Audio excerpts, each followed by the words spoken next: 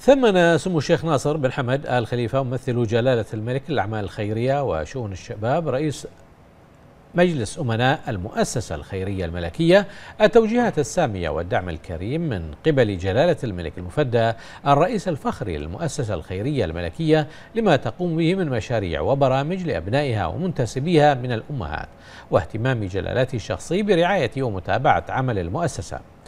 جاء ذلك بمناسبة زيارة سموه للنشاط الصيفي التربوي الذي نظمته المؤسسة الخيرية الملكية بالتعاون مع أكاديمية الأطفال. وأشاد سموه بالشراكة المجتمعية القائمة بين المؤسسة الخيرية الملكية والمؤسسات الخاصة من أجل خدمة الأيتام والأرامل ودعم, الخ... ودعم العمل الخيري الذي تقوم به المؤسسة الخيرية الملكية. مؤكدا سموه على أهمية هذه الشراكة لتوفير المزيد من الخدمات للأيتام والأرامل إلى جانب إشراك المجتمع في عمل الخير. وخلال الزيارة طلع سموه على الأنشطة والبرامج التي يضمها النشاط والتي تهدف إلى صقل مهارات وقيم المشاركين من أبناء المؤسسة مبديا إعجابه الشديد بالنشاط ومحتواه من برامج من جانبه قدم معالي الشيخ حمد بن إبراهيم آل خليفة رئيس مجلس الأمناء جزيل الشكر والتقدير لجلالة عاهل البلاد المفدى حفظه الله ورعاه على دعمه اللامحدود للأكاديمية منذ نشأتها كما ثمن الرعاية الكريمة لسمو الشيخ ناصر بن حمد آل خليفة لرعايته هذا الحفل. كما أكد معاليه أن نجاح الأكاديمية يأتي بمؤازرة من عدة جهات تعاونت مع برامجها طوال العام.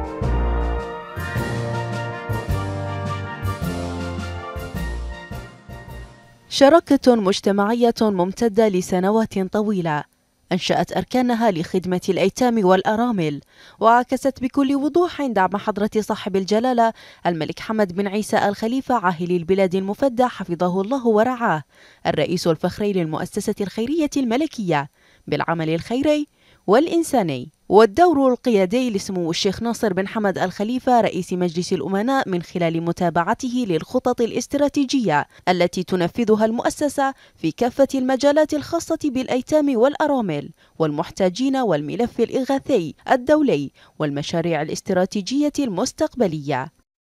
والله الفرحة والأصوات اللي حوالي حق أبنائنا الأيتام هاي آه، تعبير عن فرحتي وسعادتي اليوم بزيارة سمو شيخ ناصر اللي يشاركنا في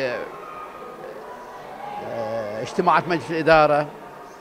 أيضا اطلاع على أنشطة آه، وبرامج الأيتام في الصيف. آه، فأتقدم بجزيل الشكر إلى سيدي جلالة الملك على رعايته الكريمة. للمؤسسة الرعاية الشاملة وأشكر سمو الشيخ ناصر على قيادة قيادته الشابة ومحبته للأيتام وتشجيعه ودعمه لهم بالنجاح والإبداع. الدعم الكريم الذي تحظى به المؤسسة الخيرية الملكية من قبل حضرة صاحب الجلالة الملك حمد بن عيسى الخليفة حفظه الله ورعاه. والحكومة اهتم بشكل واضح وصريح في تطوير الجانب التربوي والتركيز على تعزيز قيم المواطنة والتسامح وغرس القيم الاجتماعية حيث قامت المؤسسة بتنظيم فعاليات معسكر أكاديمية الأطفال الذي شارك خلاله مجموعة من أبناء المؤسسة ممن تتراوح أعمارهم بين الخمس إلى 12 سنة وذلك في مقر أكاديمية الأطفال النموذجية.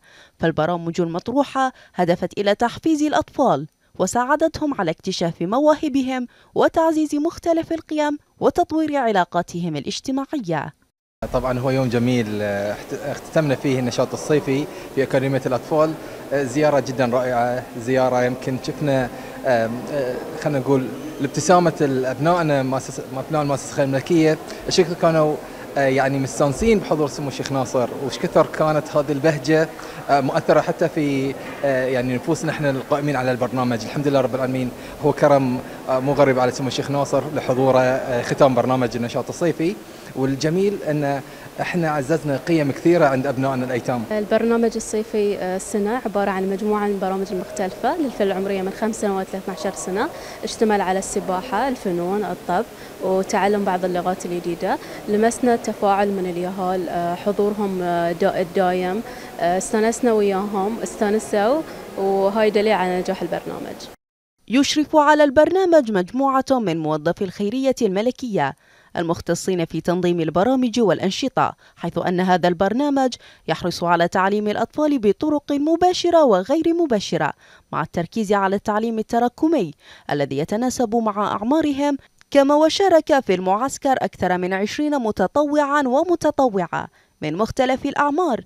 عمل جميعهم بإخلاص وتفاني لتحقيق أهداف البرنامج من الشباب والشابات الذين أفصحوا عن شعورهم وارتياحهم الكبير في التعامل مع الأطفال وأثر ذلك على زيادة خبراتهم في العمل التطوعي لخدمة فئة مهمة في هذا المجتمع.